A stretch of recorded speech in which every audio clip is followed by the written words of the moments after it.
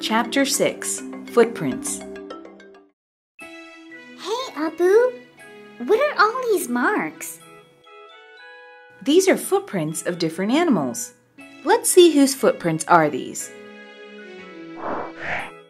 These are footprints of a cow, a duck, an elephant, and this is how yours look, right? Each is different because they are different in shape. We have already learned a few basic shapes in one of our previous lessons. Let's learn more shapes by watching this video. I suggest you watch it again and memorize the names of the different shapes. Let me give you a small activity to do yourself.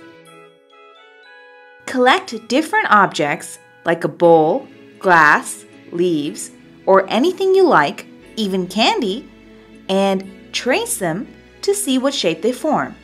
See if you can find basic shapes in your tracing and name them. Now, let's understand how things look from different sides. Do you see this picture of me? Now, see these.